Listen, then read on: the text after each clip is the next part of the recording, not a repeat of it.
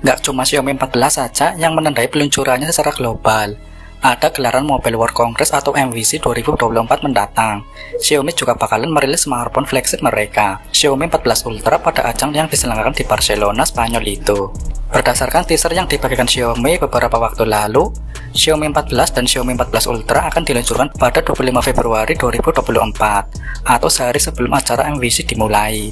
Render resolusi tinggi yang diperoleh Press mengkonfirmasi bahwa Xiaomi akan meluncurkan smartphone Xiaomi 14 Ultra dalam nuansa hitam putih atau perak. Perubahan utama yang terlihat pada perangkat yang akan datang adalah penambahan sedikit tonjolan pada modul kamera dibandingkan pendahulunya, Xiaomi 13 Ultra. Modul kamera juga akan dikelilingi oleh bezel perak di bawah bezel standar hitam dan emas. Penempatan branding Lesia serta penempatan sensor kamera dan LED flash akan serupa dengan pendahulunya. Xiaomi akan menempatkan tombol power dan volume rocker di sisi kanan perangkat. Tombol daya pada ponsel cerdas akan memiliki lapisan yang bertekstur untuk meningkatkan cengkraman dan nuansa perangkat. Tanda antena pada smartphone akan ditempatkan pada bagian samping smartphone. Bagian bawah akan menampung kisi-kisi speaker, port USB Type-C, dan mikrofon utama. Render resolusi tinggi juga mengungkapkan bahwa bagian atas hanya akan menampung kisi speaker, mikrofon sekunder, dan IR blaster tidak ada pada render. Namun Xiaomi tidak mungkin meluncurkan ponsel pintarnya tanpa IR blaster. Sisi kiri smartphone akan bersih kecuali tanda antena. Warna hitam pada smartphone ini akan menampilkan hasil akhir bertekstur, dan kedua warna tersebut kemungkinan besar menggunakan bahan kulit imitasi. Logo Xiaomi pada smartphone akan hadir di sisi kiri panel belakang. Seperti yang dapat kita lihat pada gambar, Xiaomi 14 Ultra diatur untuk menampilkan kamera punch hole yang disejajarkan secara terpusat dengan bezel yang sangat minimalis di sekeliling perangkat. Meskipun ada lekukan halus di bagian samping yang menunjukkan kemungkinan tampilan kurva mikro quad 2,5D, menandakan bahwa kali ini Xiaomi mungkin akan memperkenalkan layar datar. Menurutnya, Xiaomi 14 Ultra hadir dengan layar LTPO AMOLED seluas 6,73 inci dengan resolusi QHD+.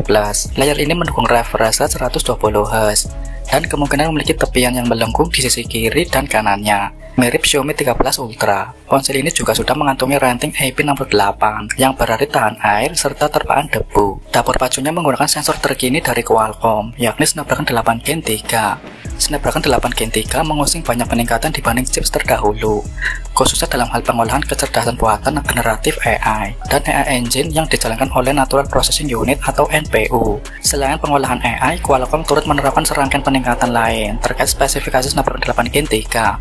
Arsitekturnya kini diubah untuk lebih menyimbangkan kebutuhan kinerja dan efisiensi. Tetap ada 8 inti CPU atau KRU, tetapi konfigurasinya sekarang berubah menjadi tiga cluster dan konfigurasi 1 plus 5 plus 3 masing-masing berisi satu prime core, 5 performance cores, dan 2 efficiency core.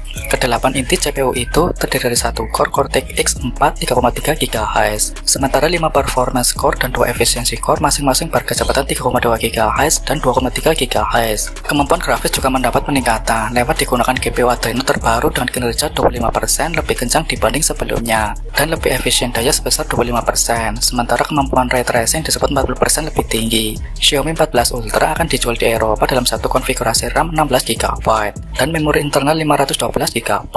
Xiaomi 14 Ultra dibalik baterai LiPo dengan kapasitas 5300 mAh yang sanggup bertahan sepanjang hari dengan pemakaian normal.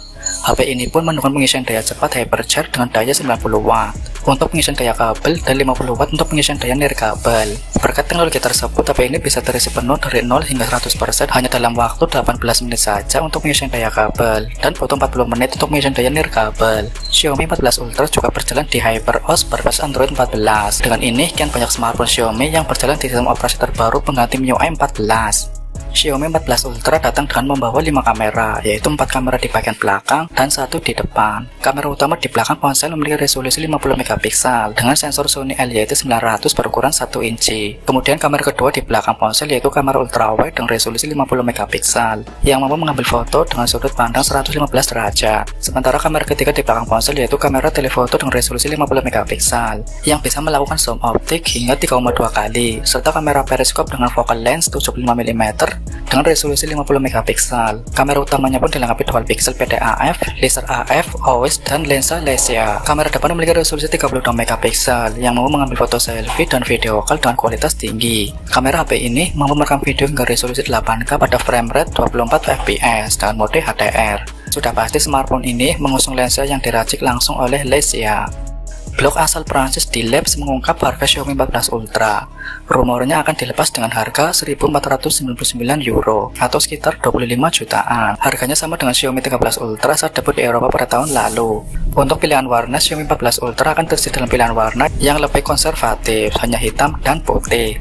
Sejauh ini Xiaomi 14 tinggal selangkah lagi untuk masuk ke pasaran Indonesia. Ponsel dengan nomor model Xiaomi itu telah mengantongi sertifikasi TKDN dengan nilai 38,20%.